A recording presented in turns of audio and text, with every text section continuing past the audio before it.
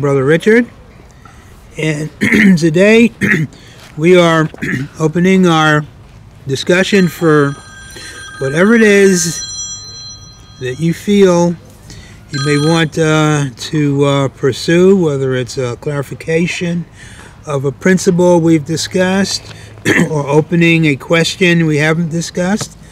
the floor is now open.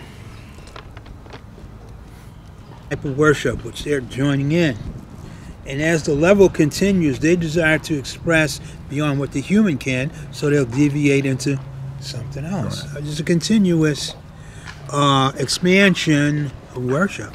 I'm thinking of the four beasts who stand before the throne, constantly saying, "Holy, holy, holy," doing nothing but worship, 24/7. Yeah. And I imagine that's what, that's what they were created to do, Yes, and it makes perfect sense. yes, yes. But but I think in general, all created angels have part of their conditioning, if I can use that word, to worship God. oh, sure. It's it's something that is innate Yeah. to life in uh, the eternal state, at that in the, in the divine level. Worship is an expression of love. Yeah. and it comes and it intensifies at different levels and it's enjoyable to everybody Everybody. i remember that vision i had it was a night vision where i'm standing in front of this light this glorious radiance and my arms are up and i'm expressing my love I don't know it's the Father. I'm expressing my love, and it's being reciprocated. He's expressing His love, and it is so desirable, and appreciative, and joyous.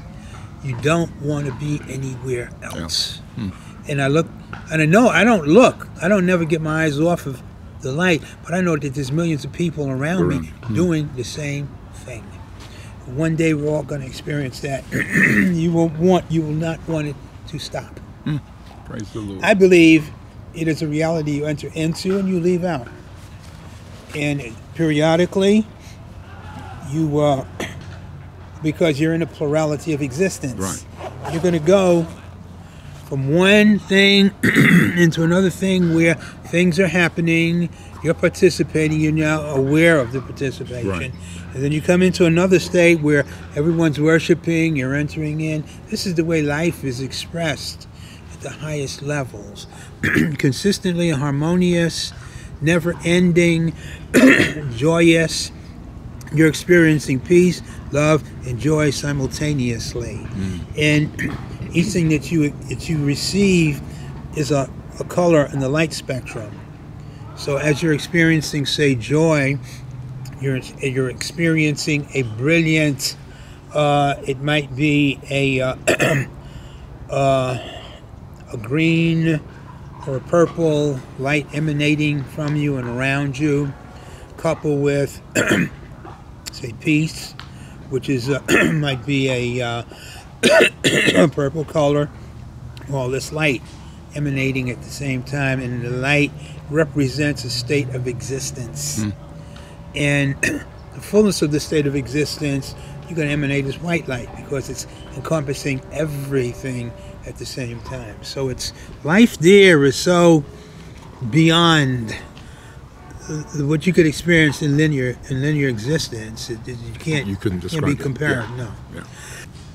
Jonesy, the last month or so, I've been feeling, you know, well, I, I'm always worshiping when I think about, okay, I'm on my way to somewhere and I don't, I know how to get there and everything. So then I'll either I'll get my, my song sheet, which is right here in between my seats, and, then I'll, and I'll sing worship songs. Or I just, I'll just verbatim sing a worship song as I'm driving. Mm-hmm. So now I noticed that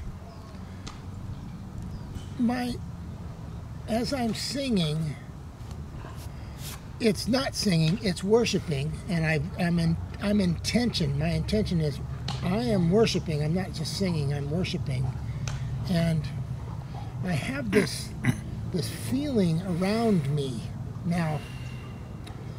I'm wondering, is that my my spirit or my soul maturing, or is it the reality around me is changing? Because I know my the angels are around me; they're with me. So, as I'm worshiping, because I have I have it's a it's a it's a subtle subtle you know thing that I'm talking about, but I can sense a, a- something's different. Hmm. Either I'm more committed, or I'm maturing, or the reality around me is changing.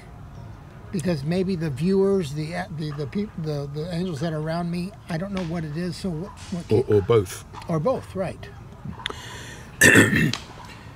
What you're doing is you're changing your state of existence to a higher level. Where you're becoming aware of things you wouldn't be aware of if you weren't worshiping. Praise the Lord.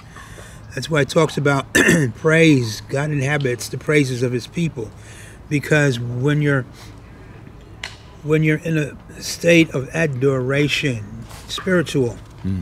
you're taking your spirit to a higher level, in which you're meeting God. He's not going to be on a level of dissonance like what you have around here. Mm-hmm. You want to be, meet with Him, you go to His level, and then you commune in harmony, and then you can go to higher and higher and higher levels, depending upon how you desire to receive things that you're feeling on that level. You're not, it's not a question of you're doing something. You're changing your state of being when you do that. Okay, literally, what what what it's turned into, as, as you just now mentioned, it's not the state of doing; it's being. I am going about doing this.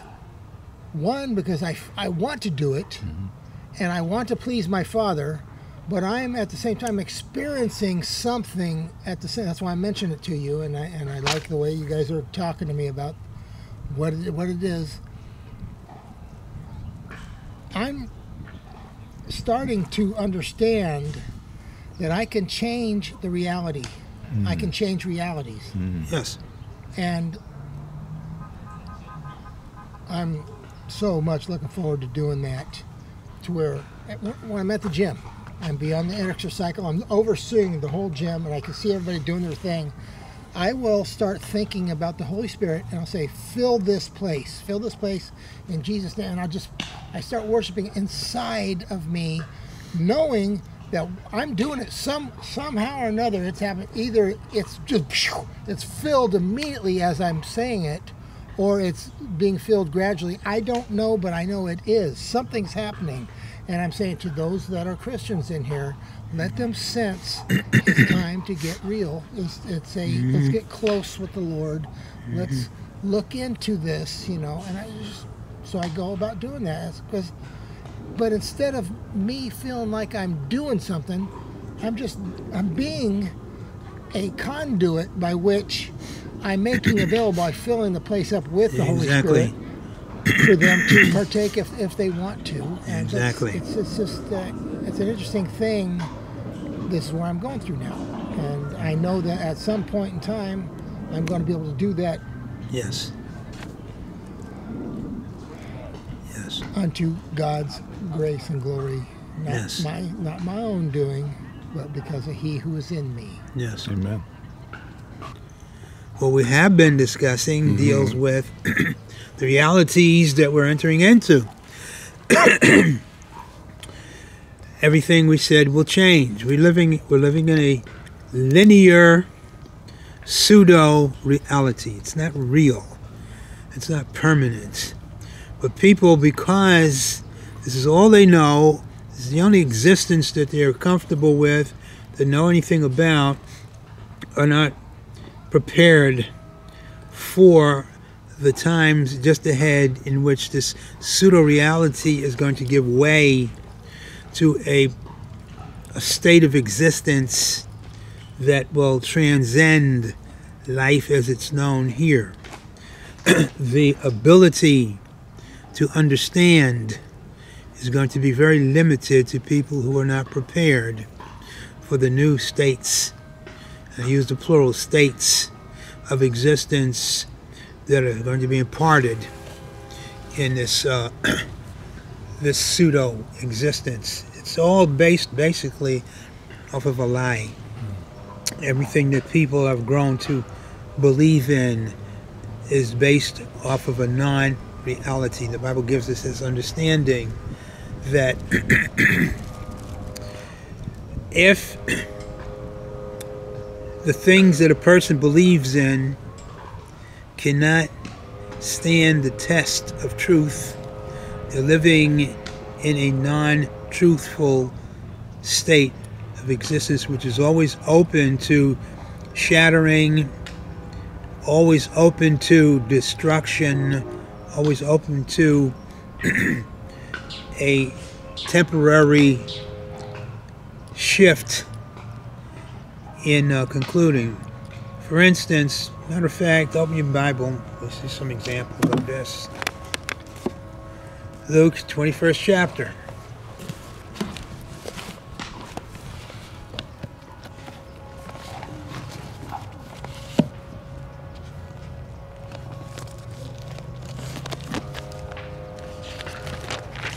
Looking at distinctive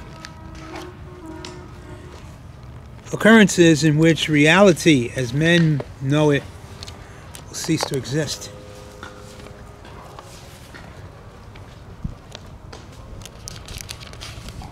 Luke, 21st chapter.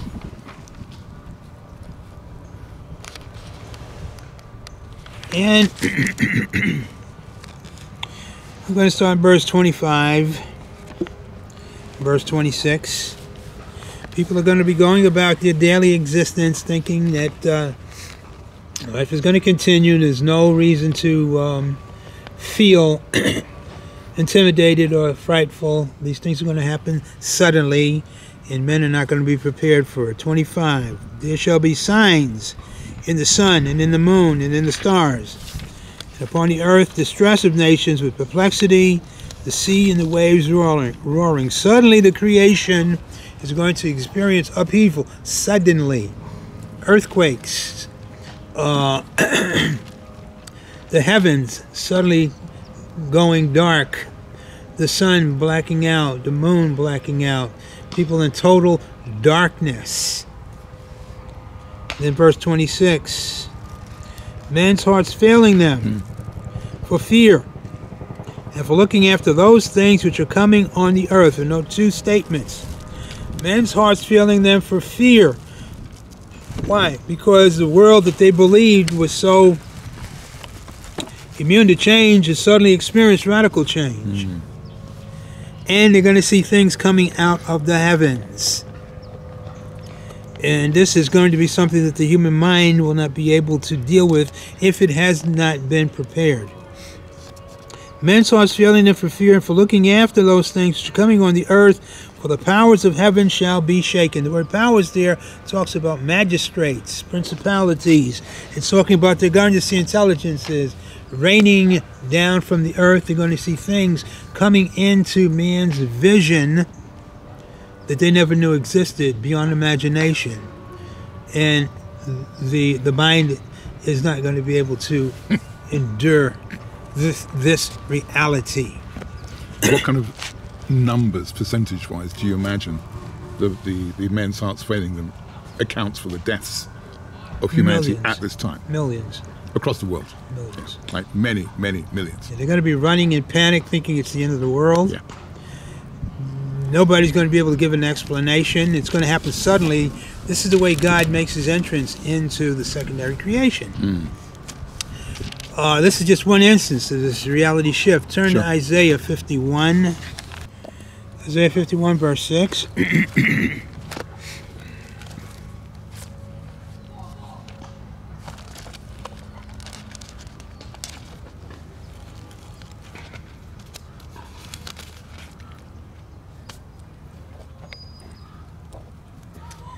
Lift up your eyes to the heavens and look upon the earth beneath.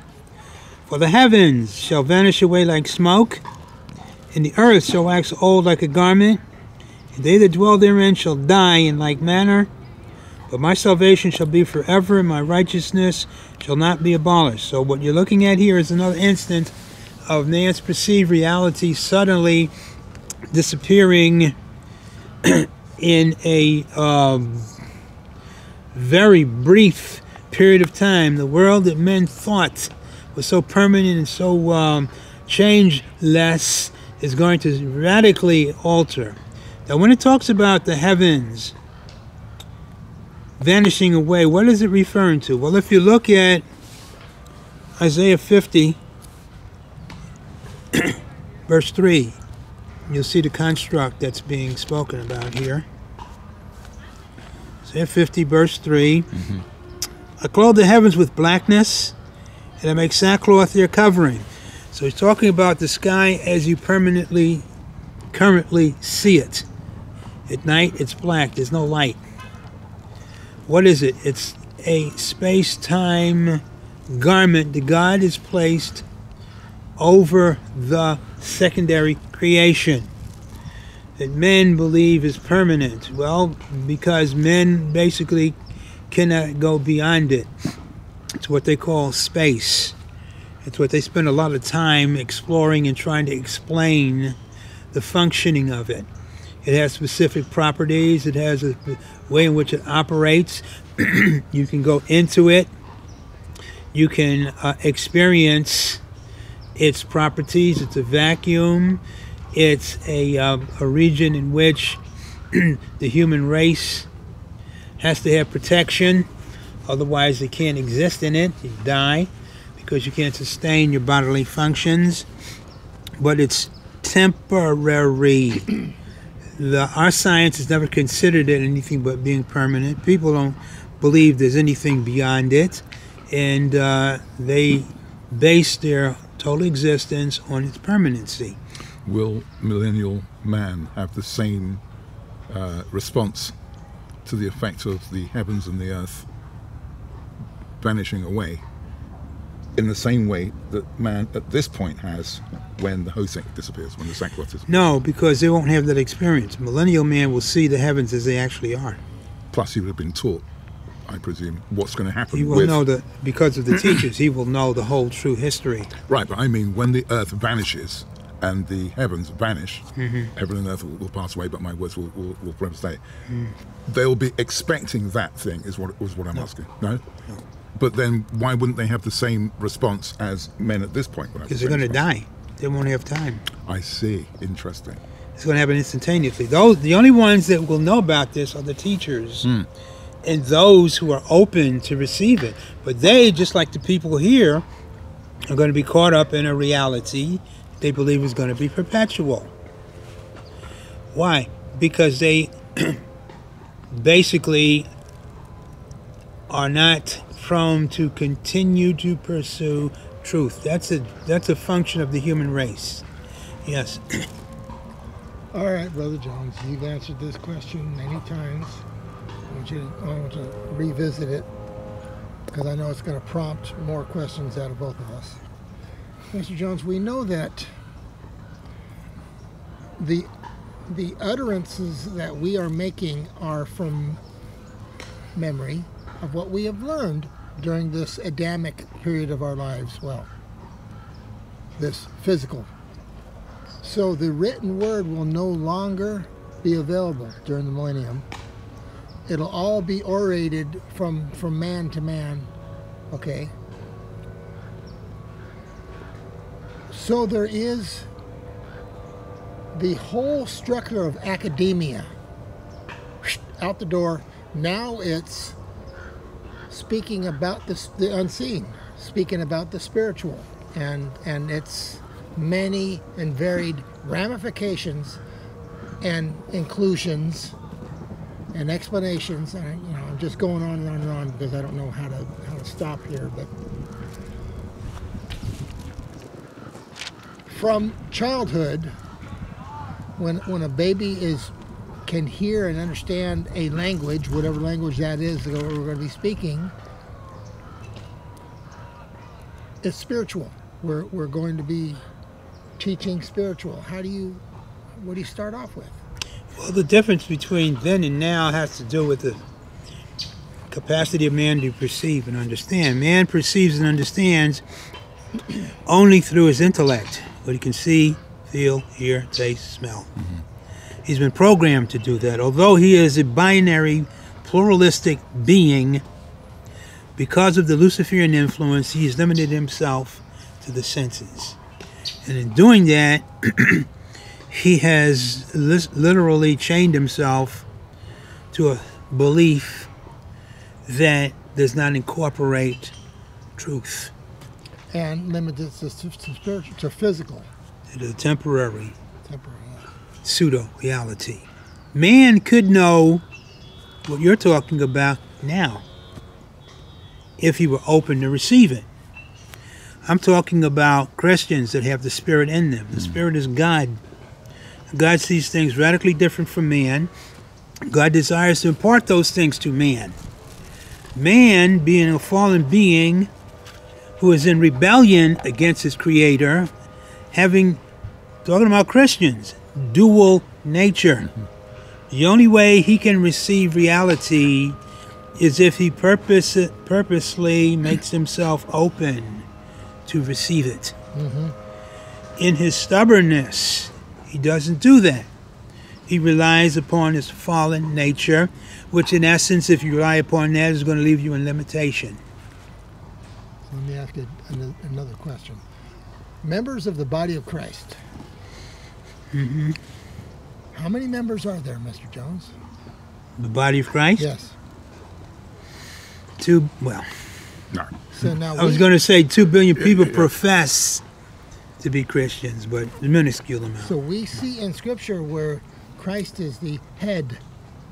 Okay. Mhm. So now we have all the other members that are not specifically. I know you you would know if they're being defined in any way, shape, or form. Well, the arm, the arm of this, or this, and that, and mm-hmm. the other. So now we have basic function or explanations, but that's not the entirety of the body of Christ. The, the entirety of the body of Christ can it be actually spoke out? the entirety of the body of Christ. You mean And- as a number? Well, in its segmented, Oh, the I head, see. the Okay. arm, the foot, the tone, the, you know, Jonesy, or we're not even supposed to look at it like that at all. Sure, that's the only way we're supposed to look at it. But we are taught, trained, controlled to see it from man's definition of it. Right. The only way we're going to see it from what you're describing is It's if we through the word. stick to God's definition of it. Yes. The majority of the body of Christ doesn't realize the body of Christ. Jonesy, I go about doing my business the same way he does and the same way you do. You do what you're supposed to do because you enjoy doing it. We are benefited by it and we Amen. show our, our appreciation doing the little things that we can, but we're, we're constantly in motion, but we're, we're just doing what is innately been given as, as part of our components of, of who we are. Yes. And then we know the scripture be all things to all men. Does that mean be every be, be every position in the body that you can? No, it's talking about men outside of the body. You represent a an image that you can make a connection with them through. If you're talking to somebody who's a truck driver and you have an understanding of the life of truck drivers, then you are going to present the gospel to that man from a truck driver's Perspective. Right, right. if you're dealing with an ex-convict and you know you've had friends who've been in jail and come out and you have a knowledge of that type of life you present the gospel to that individual from that perspective somebody who's been through the mm-hmm. system. You wouldn't pres- present the gospel from an intellectual perspective to somebody who's not on that level. You come to that individual in a way in which that individual is going to receive and comprehend. That's what mm. the way Jesus You meet them where they are and take them to higher. Mm. exactly. Mm. And that, of course, is coloured by, you have to say, our calling, our ministry, our workings, all of these things. In other words, the way that he operates is based on his individualism, u- u- his uniqueness from the, the Lord's perspective, but also the classification of his membership to the body, which I think was Yeah. where he was going uh, earlier. And to add to what you just now said, the Father has given me implements of temporary existence, so I can I, can- I can exist temporarily, and I have enough to share with my with my brothers. Praise the. Lord. So you know, but it, it's not vast amounts, but it is. I'm doing what I can with what I've been given. Exactly. That's a big, and that, that's exactly what you do. That's what he does. You know, we're all doing what we've been given, and and making every people enriched with the small measure-wise amounts, which turns into eternity, which is in you can't calculate it. But Yes. it's, uh, Yes. it's such a wonderful plan. I just wish we could convince other members. Others. You're describing do what we can do, or be what we can be, is a better way of saying it, and God will do the rest. So from that tiny grain that we are aware of, He then produces bushels.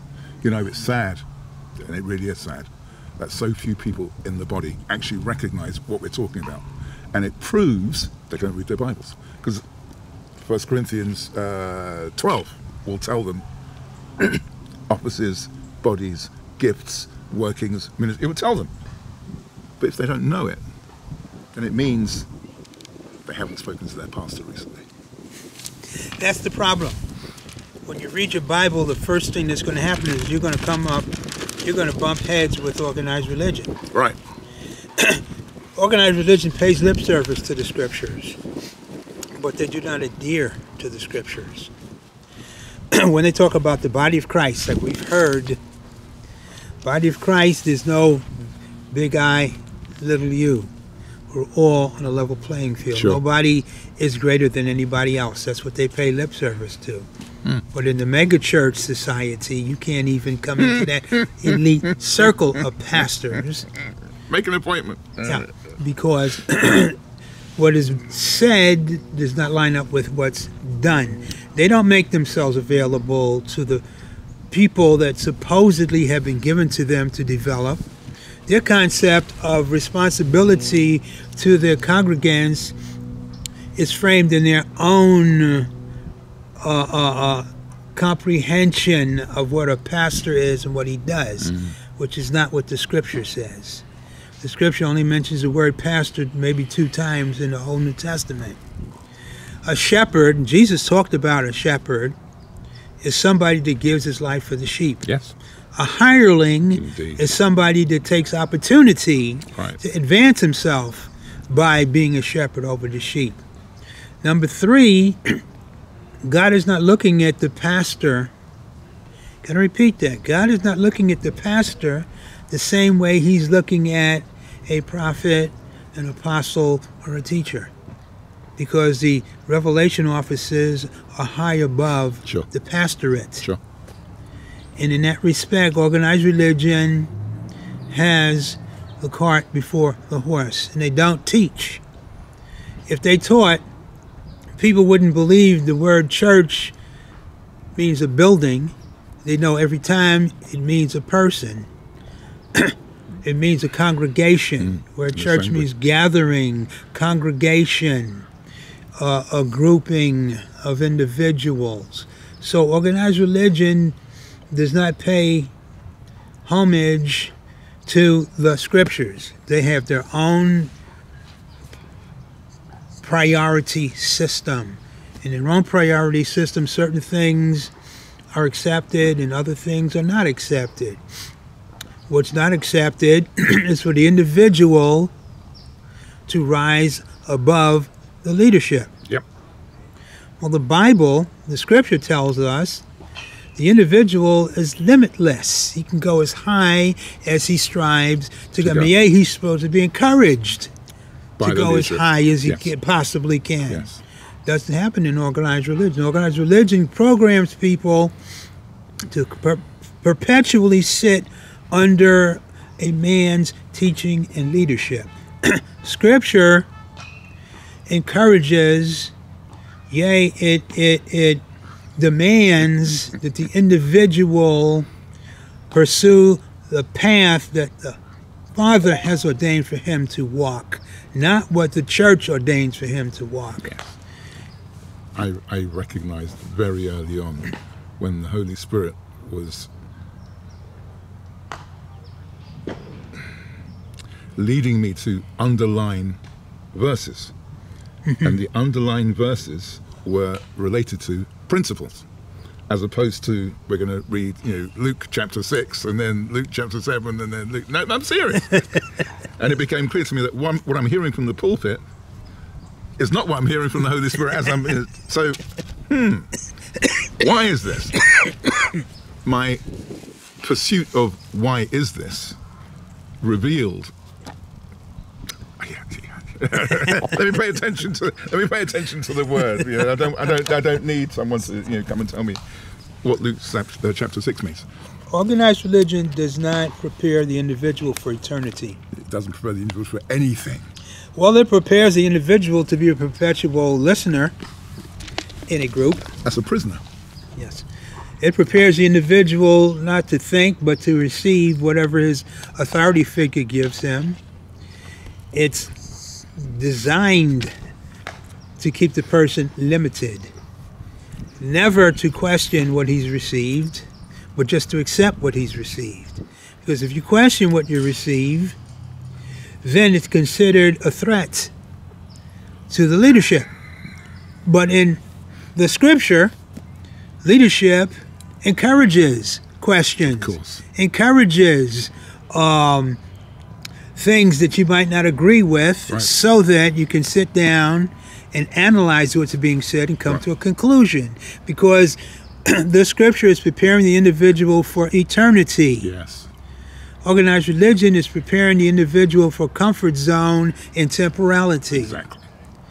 And uh, it's so egregious as the, the, the, the time that these people are going to have to give an account for what they did. You just feel sorry. That's called growth and limitation thereof. Do you know how many times that someone has said to me hmm. in absolute shock and disbelief, You mean you don't believe what the pastor believes. So I believe what the Holy Spirit is telling me. No, no, one else is, is relevant as far as I'm concerned. I don't care how many people you bring along, that's what we, we study. This is so rare, Richard, so rare that we have groups like this being led by the Holy Spirit and actually growing as a result thereof. It has to do with how you perceive life. the scripture is written from God's perspective. Yes. Organized religion teaches from man's perspective. God says in His Word, My thoughts are higher than your thoughts, than the heavens are of the, over the earth. If you're going to engage in pursuing the scripture from man's perspective, you're going to chain yourself to limitation. You're going to reach a point where you don't grow, you don't have a comprehension of Christianity. Organized religion has a distorted view of Christianity. Their view of Christianity centers around one thing salvation. That's the only thing that they have that's um, basically uh, characteristic of, of value they lead people into become becoming born again, and that's where it starts. That's where it stops.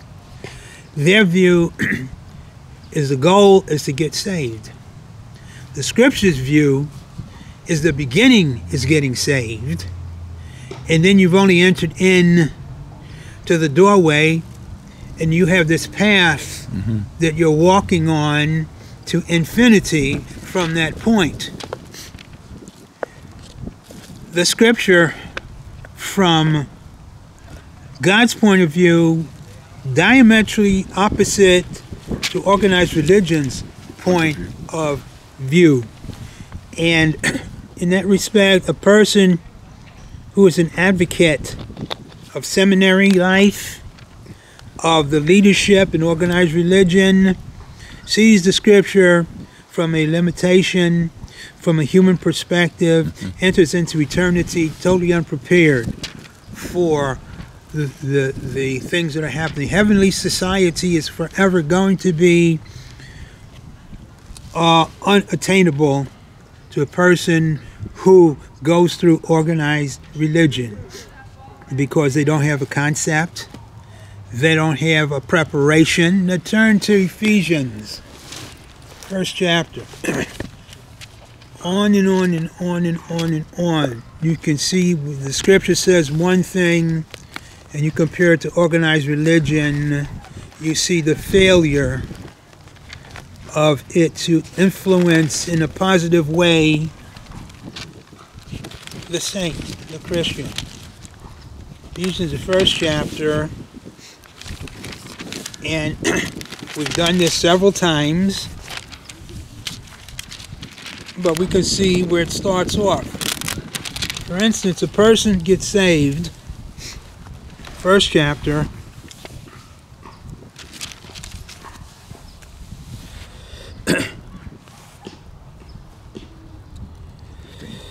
Twelve, starting verse twelve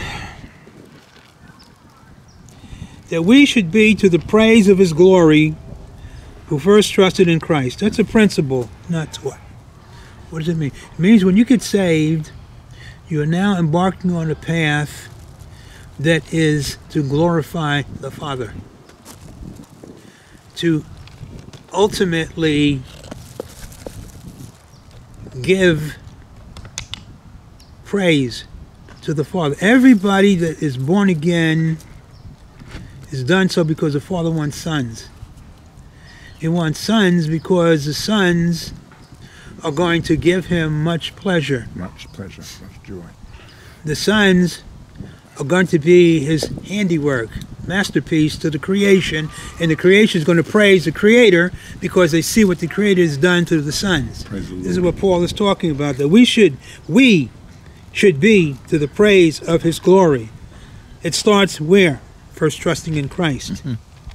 Trust in Christ, in whom you also trusted after you heard the word of truth, the gospel of your salvation, in whom after that you believed, you were sealed with the Holy Spirit of promise. When you believe, you become born again. You enter into the family of God as a son of God. You enter into sonship. You are sealed. The sealing is the entrance of the Holy Spirit into the life of the individual, called the earnest of the Spirit, down payment of the Spirit. The first partial uh, payment, which declares that you are God's property, that there's more to come, but it's contingent upon the person's progression after that. He talks about verse 14, which is the earnest down payment of our inheritance until, until, until redemption of the purchased possession. Purchased possession. What does that mean? It means that you have been bought. The seal shows that you have been paid for. Until the purchase. What is that? That's the rapture. That's the adoption. That's the glorification. Until that happens, you have the earnest of the Spirit operating in you. Nothing more. At the time of glorification, you get the fullness a down payment. When you when you put a down payment on something, it means that ultimately you're going to be paying more for that item. That there's more going to be forthcoming that pertains to that thing that you've gotten partially. The fullness, not to say we haven't been fully paid for, but it means that we haven't been fully uh, the thing the, the the thing that's been purchased has not been fully Realized. operative Okay. in that respect. God does that for a reason. And in that respect, which is the earnest of our inheritance until the redemption of the purchased possession, unto the praise of his glory. So he's going to be glorified when the fullness of the Holy Spirit manifests in his sons. He's going to be greatly glorified, greatly uh, uh, uh, enhanced in his pleasure. But notice what it says.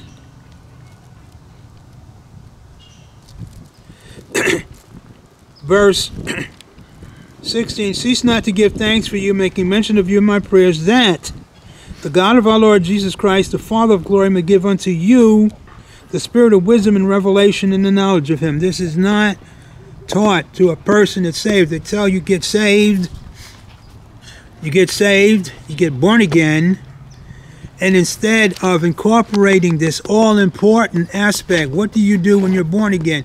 You pursue. You pursue the spirit of wisdom and revelation in the knowledge of Him. That's the only way you can grow. The spirit of wisdom and knowledge has to be there to direct the individual. It's not encouraged, it's not even faintly alluded to. Just the opposite. Organized religion tells you you've got everything you have, you need now. Uh, read your Bible. That way you'll find out more and more and more. Don't study. Just, Yeah, and God will lead you into where wherever it is He's directing you. No, He won't, because unless you pursue it, it's not going to come to you. They give an, inf- an inference that the person is going to receive it all. That's why you have the problem you have. Yes. People expect it's going to come to them automatically. why isn't it happening? Maybe I'm not saved, or maybe it was wrong, or maybe this, or maybe mm-hmm. that. Then I'm encouraged to understand how this thing works. Everything we have, we have to fight for. We live in a world in which it's number one, it's fallen. Number two, the people in it are totally ignorant of the truth of everything that pertains to this world and this life. They don't know their past, they don't know their present, they don't know their future, they don't know their purpose, they know absolutely nothing. Not explained to them. Paul goes into great depth to make the, the Christian understand what he's to do, where he's to start from, what he's to pursue. He pursues the wis- the spirit of wisdom and knowledge, wisdom and revelation in the knowledge and why. Verse 18 The eyes of your understanding being enlightened, that ye may know what is the hope of his calling and what the riches of the glory of his inheritance in the saints.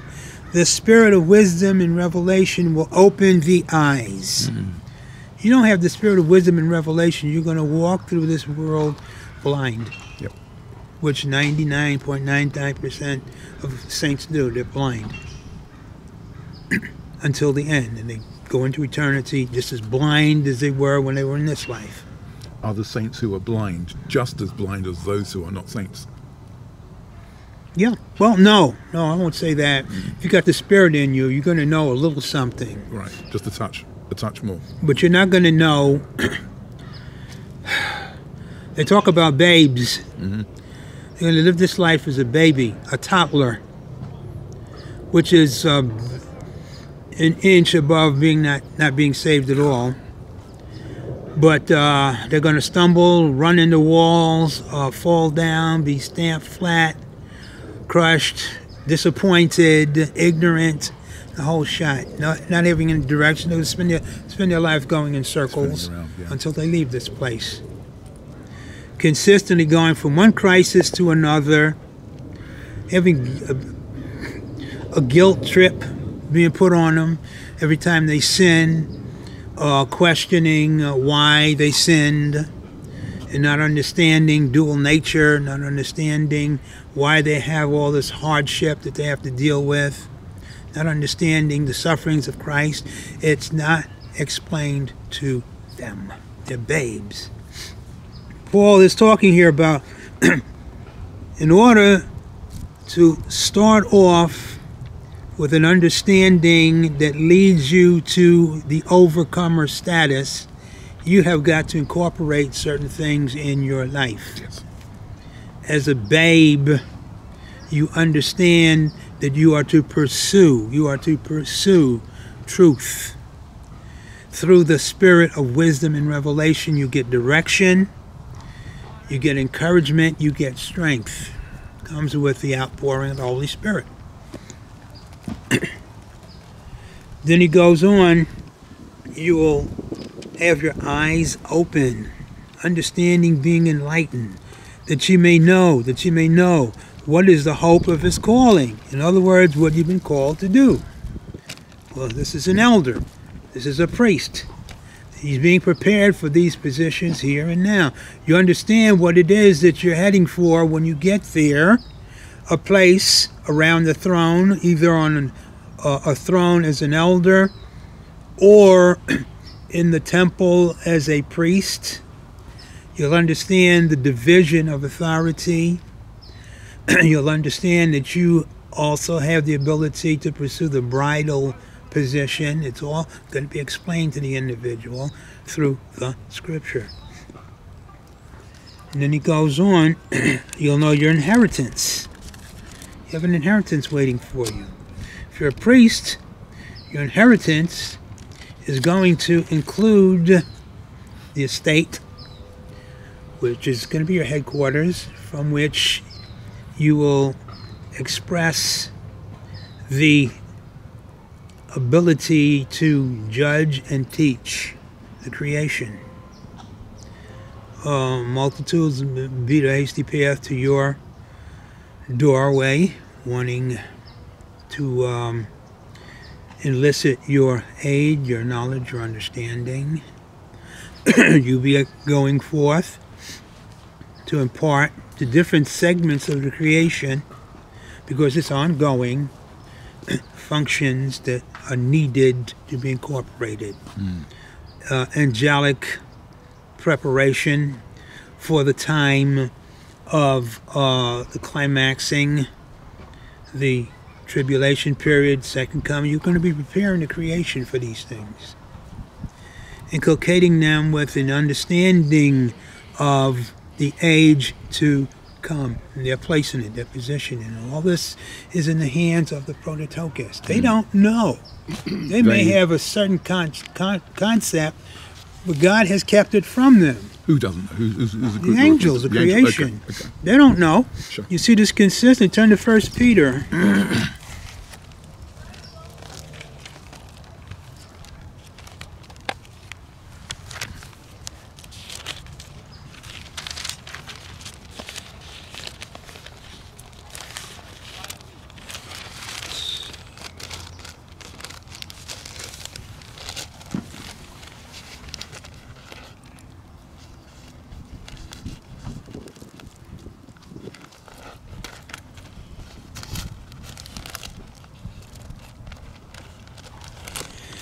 First Peter, first chapter,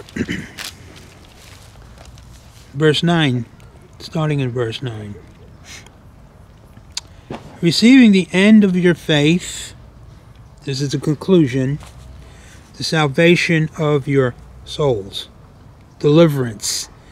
Here he's talking about the adoption, of which salvation, deliverance, the prophets have inquired and search diligently, who prophesied of the grace that should come unto you. In other words, the New Testament prophets, after the Holy Spirit's poured out, and they step into their office under the anointing.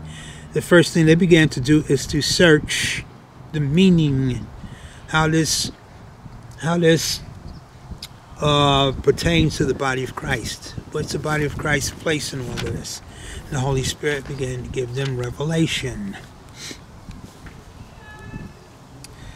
Verse 11 Searching what or what manner of time the Spirit of Christ, Holy Spirit, which was in them, did signify when it testified beforehand the sufferings of Christ and the glory that should follow.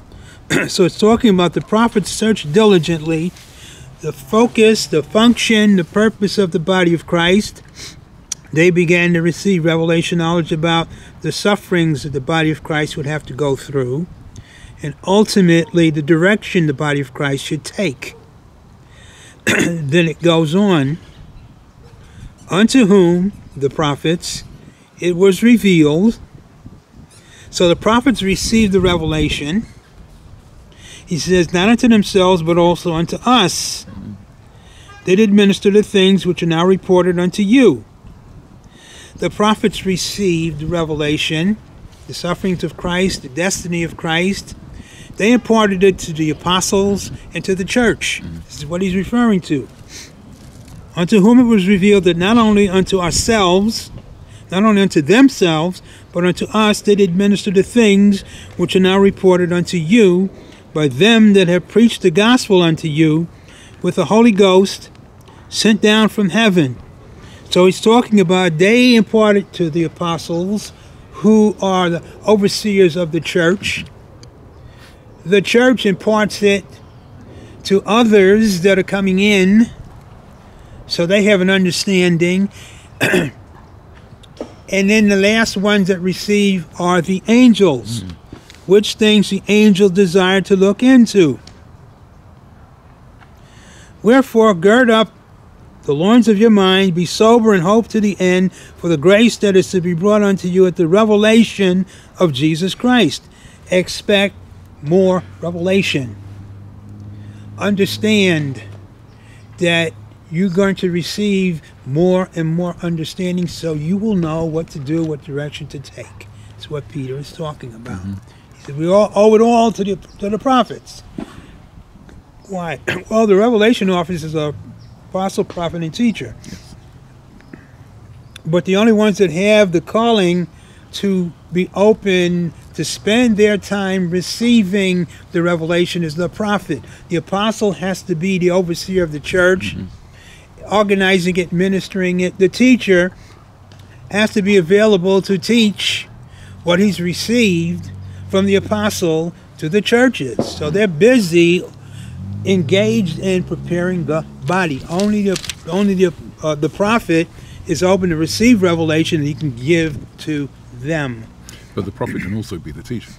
Oh, sure, they are. But teaching is secondary. If they don't, I see what you if mean. they're not open totally to revelation, Right, then what will they teach? the church loses direction. Sure. You have to have that, and you see examples of that in the Book of Acts. Uh, prophets came down from Jerusalem. Agabus uh, talks about things that are going to happen so the church can be prepared. Mm-hmm. Uh, Paul, Agabus tells Paul, "Hey, look, when you go where you're going to go, understand this is going to happen to you. That's going to happen to you." Paul's an apostle. Uh, Agabus is a prophet, but Agabus has received the revelation that he can pass on to Paul, so Paul can be prepared for what he's got to deal with. This is the way the Father has organized the church at this this At this point. point, yeah. Uh, if everybody took their time in getting, and the apostles could get revelation as well, they do, but then the church would suffer as a result because they wouldn't have time to pass on what was needful. Revelation knowledge, we just read that in Ephesians. The spirit of wisdom and revelation is the engine that drives the direction that the church is going to go to. Yes. So we can see that from the organized religion leadership perspective, even if they do read, uh, even if they do receive the spirit of wisdom and revelation, because they are not evidently being driven by the Holy Spirit, it's an intellectual exercise. They won't be able to grow to the, the to the point necessary to actually do the things that you're talking about. They're not open to receive the spirit of wisdom and revelation, number one. Number two, they're not encouraged to. Number three, the offices of revelation have been totally neutralized in organized religion. That's why the pastor is supreme office. Right. Everything's turned around. Uh, they're not encouraged. Matter of fact, you're discouraged. The majority mainline denominations don't even believe in apostles and prophets as a current office. They will tell you it was only 12 apostles. When they passed away, That everything went into a new direction. Yeah, we, we heard that. Before. And you would say that, where do you find that in the scripture? There's a God who does not change, who tells you, I've established the office of apostle and prophet in the body of Christ until the time that the last apostle died, and then I'm going to change it to uh, organized religion. Where you find that in the scripture? That's totally contrary. That's heretical teaching Sure. of the most of the of the nth degree heresy. These people are out here walk, walking around talking about um, cessationism, revisionism, stuff that has no relevance to the scripture whatsoever. It's man-made doctrine. They don't even identify with the body of Christ. They identify with men. I'm a, I, I, I, I'm a, Calvinist. a Yeah. Calvinist. Uh, I, I'm a, a, a, a Lutheran, a Presbyterian, a Baptist. They're they're they're, they're identifying with man-made organizations. Nothing to do with. Paul got on the, the Corinthian church about that. He says, um, matter of fact, turn over there, First Corinthians, and and you get an impression of what they would think about organized religion today because it's the same criminal act of sin that was based there before First Corinthians, third chapter. says-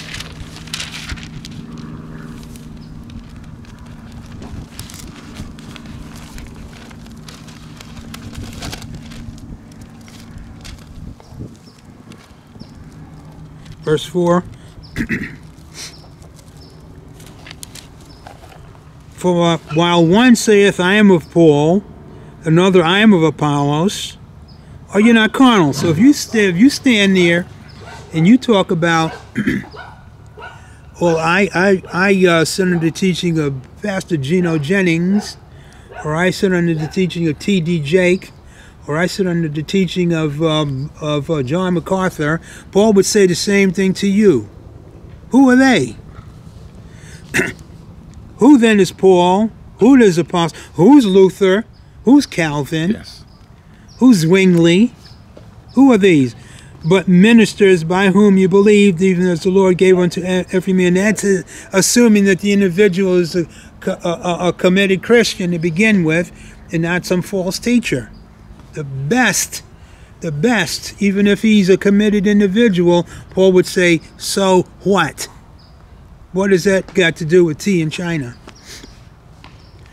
Verse 6 I planted, Apollos watered, and God gave the increase. So you would say that man that you're identifying with, the best you could say is he watered or he planted. He only gave what he received. What are you putting him up on a pedestal, reading a Bible that's got his name on it? Oh, Paul would, ooh, Paul would have a fit with organized religion. Then he goes on. now he that planteth and he that watereth are one. Every man should receive his own reward according to his own labor. What is he saying? This puts down pastorates, pastors. He's saying the most that a leader should be is that they worked together to bring people to Christ. Yes. And they got no justifiable reason for saying this is my church. Uh, that's my teaching. They'd shoot it all down in a hot minute. I've noticed that um, the leadership who speaks against people pointing out these things, hmm. as we do, of course, and reading and identifying with the way that the, the Father has structured the church, mm-hmm. are called Mormons, Jehovah's Witnesses, and various other. Cult, You're a cult. Three Stooges. Yeah. Verse 9 For we are laborers together with God. Are God's husbandry, are God's building. According to the grace of God, which is given unto me as a wise master builder, I have laid the foundation, and another buildeth thereupon. So, where do you have a megachurch pastor saying, okay, I'm just uh, here giving you, but brother so and so over here, he's just as important as I am because he's going, he's got a gift that can help you on the path where I can't. Yeah, I've never heard of it. You never, and you never Uh, will. Never will. Yeah. So the, the, the individuals that are not patterning themselves after what you read here, either this scripture is wrong or somebody is opening themselves up for a grievous uh, uh, time when they stand before the Lord. Jeremiah 23 No. It's coming. Yep. Notice what it says in verse 13 Every man's work shall be made manifest. I'm going to repeat that. Every man's work shall be made manifest, for the day shall declare it. For it shall be revealed by fire, and the fire shall try every man's work of what sort is. it. If you have a pastor who spent all this time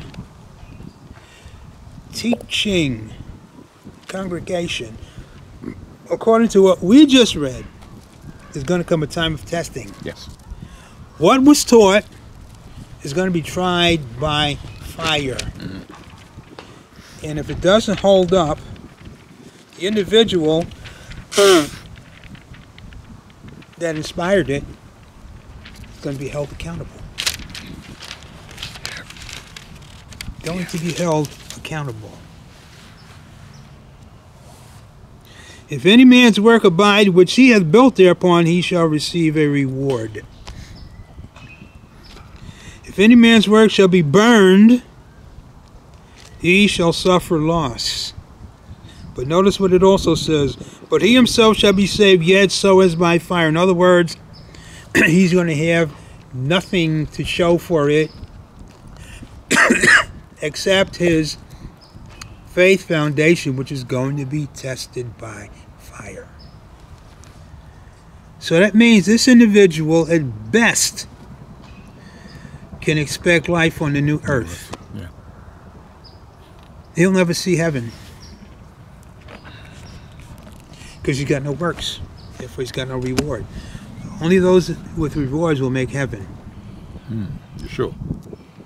The It's not- Bible, Bible says, so if I'm saved, I'm not immediately going to heaven. no. I, don't, I don't think so. Praise the I wouldn't, Lord. I wouldn't hang my hat on suddenly be whisked away in the rapture. I don't think I would either. This is just so extraordinary. Yeah, as each day continues with our studies, the most basic concepts become a testament to the opposite of the difference between the world system and the spiritual system. The church, I'm sorry to say this, is part of the world. It's just an extension of the world? It's an extension of the world. It really is. That's, that's, that's a terrifying conclusion to come to. By virtue of the fact you got maybe a handful of people from the time the churches are founded, relatively speaking, that are really going to make it. Sure. That that's mind-boggling. So that whole concept of a church within a church has to be has to be real because the father's uh, uh, structure has to exist within Yeah, the church to, is. you know, to whatever They're degree. scattered, as he talks about that. I've scattered you here, scattered you there. Now I'm going to gather you. Praise the Lord. I'm reminded of the story of the king who makes a wedding feast for his son. He invites various people. One of them says, "I've just got married. You know, I'm, I, I, I can't." You know, they've all made their various excuses, but then one the, one of them comes in wearing a wedding uh, uh, a dress, which he wasn't supposed to wear because evidently he didn't answer the RSVP or something along those lines. Which reminds me of the. He the- didn't the- get called.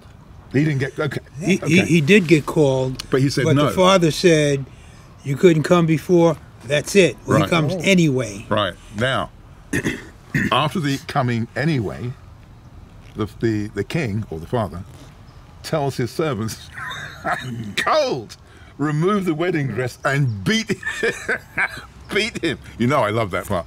beat him. This is very interesting because the same people who are trying to look good in your eyes, That are ignoring the still small ignoring voice. this, that's them. Yes.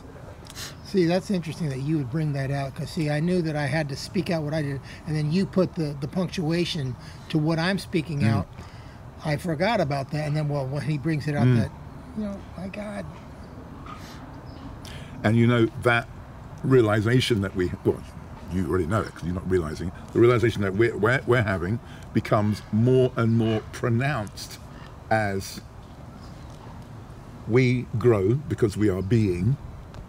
The incoming reality becomes more intense. So the very people that we're talking about, because they chose not to learn anything they don't know, and they become the Luke 21, uh, 25, or 26 men's hearts. You know, that, that's that. Extraordinary.